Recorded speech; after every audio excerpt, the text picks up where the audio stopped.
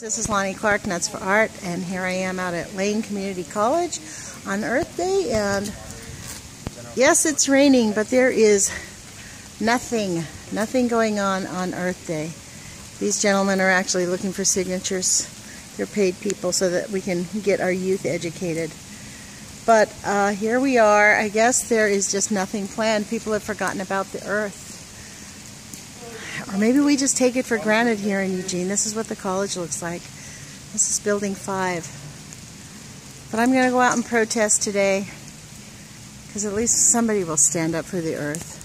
So, and I did give these guys some information, so maybe they'll...